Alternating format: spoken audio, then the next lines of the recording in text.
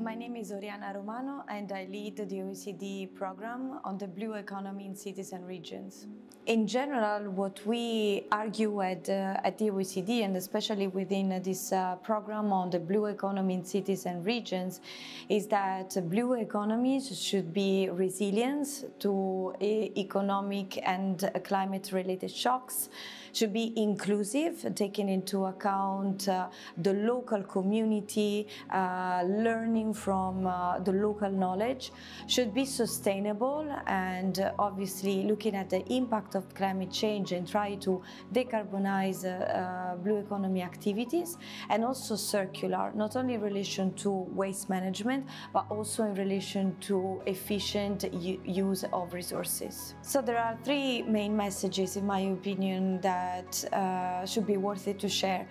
The first is that uh, blue economies uh, should be uh, resilient, inclusive, uh, sustainable and circular. So it is important to look at all these aspects uh, at once. The second is to make sure that in delivering or achieving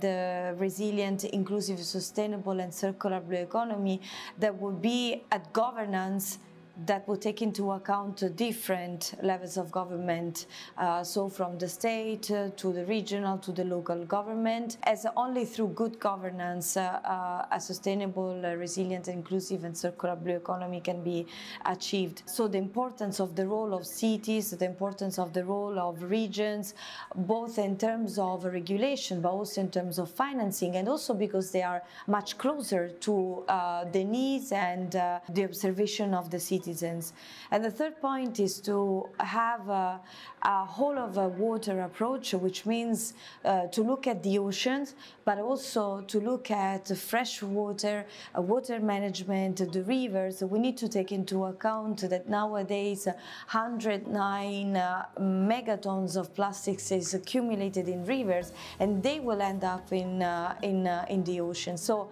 it's important to, when we look at the ocean health, to think about about river health and have a, a system approach to link different policies.